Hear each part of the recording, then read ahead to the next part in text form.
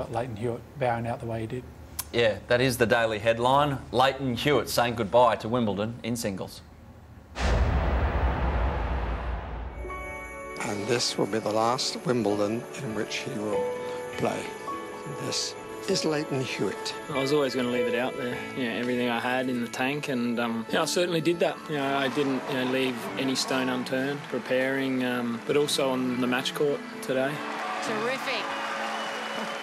His attitude and his competitiveness is, I think, second to none. You know, maybe Rafa and him are the greatest competitors of all time.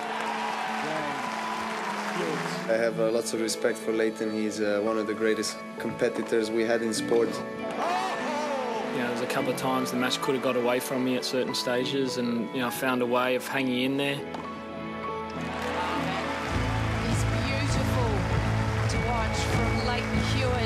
Was more trying to always think about, you know, holding serve and getting those first couple of points. It never entered my mind that, you know, this could be the last time you serve or play a game on in the championships.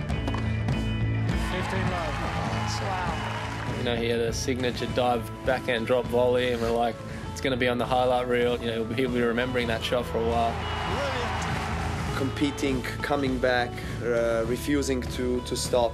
I've played so many big matches and tried to squeeze absolutely everything out of my body over the years, and especially coming back from the surgeries, you know, a few years ago. So, you know, in, it's probably fitting that I went, you know, went out in, in a bit of a thriller and, and a long match out there. As much as it hurts to lose, and I would have loved to have, you know, gone on and had a crack at, at the world number one and defending champion, but. Um, you know, Nieminen, you know, he fought extremely hard out there today, and uh, you know, he was a worthy winner.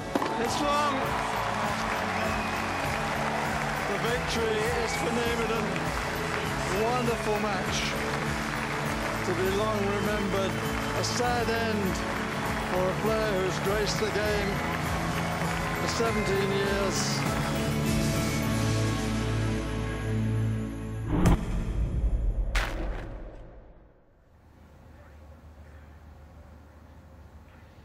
Yeah, that was the daily headline brought to you by Jaguar, the art of performance.